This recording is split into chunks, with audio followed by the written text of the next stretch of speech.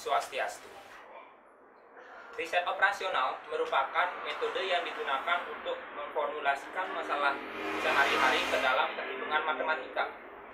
Dalam perhitungan riset operasional, ada beberapa metode yang dapat digunakan, metode penugasan dan metode transportasi.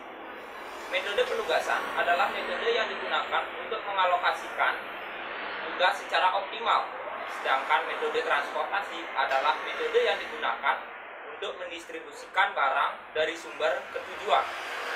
Permasalahannya adalah mahasiswa sering kali mengalami kesulitan dalam perhitungan metode penugasan dan transportasi. Itu dikarenakan perhitungan metode penugasan dan transportasi memiliki jumlah iterasi yang sangat banyak. Oleh karena itu, dirancang sebuah simulasi metode penugasan dan transportasi berbasis web. Simulasi metode transportasi dan penugasan memiliki empat menu utama, yaitu beranda, transportasi, penugasan, dan tentang. Kemudian, untuk keluaran dari metode penugasan dan transportasi ini adalah langkah-langkah dari perhitungan metode penugasan dan transportasi hingga menemukan hasil yang optimal. Ini adalah tampilan saat pertama kali metode penugasan dan transportasi dijalankan.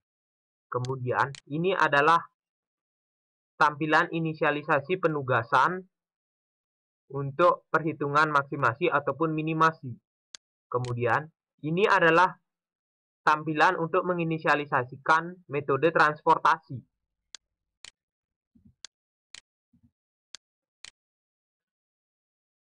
Setelah kita memasukkan jumlah sumber dan tujuan akan diberikan halaman untuk menginputkan sumber dan tugas. Kemudian kita klik masukkan. Ini adalah langkah-langkah untuk menentukan metode transportasi. Misalkan yang pertama. Ini. Kemudian, ketika kita ingin kembali ke langkah-langkah metode transportasi, kita klik Home. Untuk membuat file PDF, tinggal kita klik ikon PDF. Kemudian kita klik Save untuk menyimpan file PDF yang kita akan download.